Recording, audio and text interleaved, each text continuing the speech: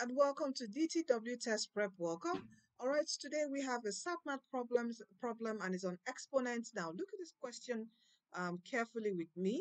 It says here, if n raised to the power 3 is equal to x and x and n raised to the power 4 is equal to 20x, where n is greater than 0, what is the value of x? Okay, you usually see this question in the no calculator section of your SAT math, your digital SAT math. So, I, I mean, your calculator section, the section, okay, you would see this.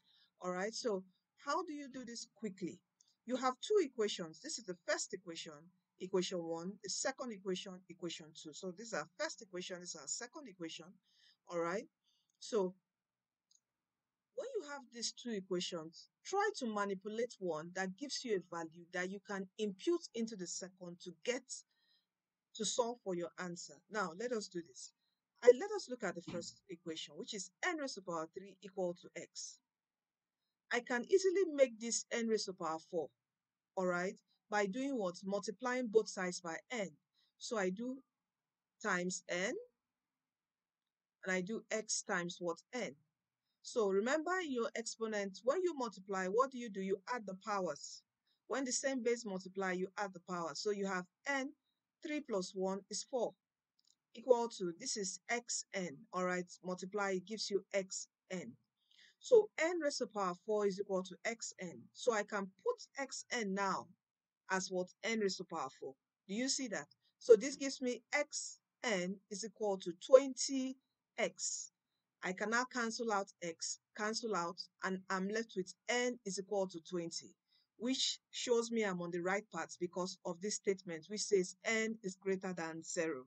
All right, so now we know n as 20. Remember, we're looking for x. So don't rush and leave your answer as 20. We're looking for x. So we'll take this now to our first equation, all right, which says n raised to power 3 is equal to x because we're looking for x. We know our n as 20, so we come here, n raised to power 3 equal to x. n is what, 20, then we raise to the power of 3 equal to x. And what is 20 raised to the power 3? That's 20 times 20 times 20, and this gives us 8,000 equal to x. So our answer here is what, x equal to what, 8,000. So this is our answer. All right, you see that? Okay, so you see you need the knowledge of your exponents.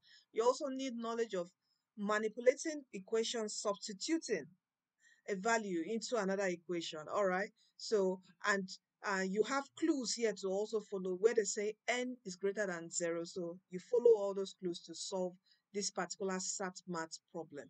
All right, so thank you for staying tuned to the end. Don't forget to please subscribe to our YouTube channel. Give this video a thumbs up, share with your friends, family, loved ones taking the SAT maths. All right, soon. And uh, you can also join our Facebook group. You can um, drop your questions, a picture of your maths questions you're having problem with, and we'll help you out. And if you're interested in online tutoring, please do contact us. All right. This is our email info at dtwtestprep.com. All right. And you can check our website for other resources. So thank you so much for staying tuned to today's video. And um, finally, don't forget that Jesus Christ is coming soon. Please do give your life to Christ, for He's the way, He's the truth, and He's the life. He's the one who's going to lead you to heaven. After life here, there is another life. Okay, after death, there is another life. Please choose Jesus, for he will lead you to heaven at last, to eternal life. And it doesn't just do only that. Even right here on earth, where you when you make him your Lord and personal Savior, you know, he gives you peace, he gives you wealth, he gives you joy here on earth. Everything is in Jesus. Come to him, surrender it to, to him. Today, follow his ways, and he will bless you. All right, thank you, and see you in our next video. You are destined to win in your forthcoming SAT Maths exam and also in life. See you soon.